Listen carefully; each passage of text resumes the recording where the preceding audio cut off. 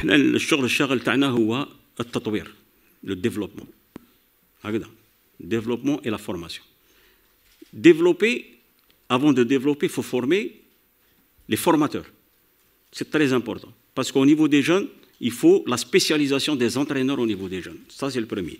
Il faut qu'il y ait un contenu يكون عندنا كما نقول لك مضمون تاع الدراسه للمدربين يكون في المستوى اللي اليوم ما كانش cela veut dire ما كانش le niveau actuellement il faut se spécialiser pour les jeunes parce que l'enfant et l'enfance il faut connaître ces étapes من الناحيه المعنويه ومن ناحيه التطوير ال morpho-fonctionnel من ناحيه كما يقول لك هذه الطريقتين هذوما لازم المدرب يعني يسيطر عليهم من ناحيه تقنيه ومن ناحيه التطويريه للطفل لأن النمو تاعو من مرحلة إلى مرحلة تتطلب آه، آه، متغيرات في التدريب.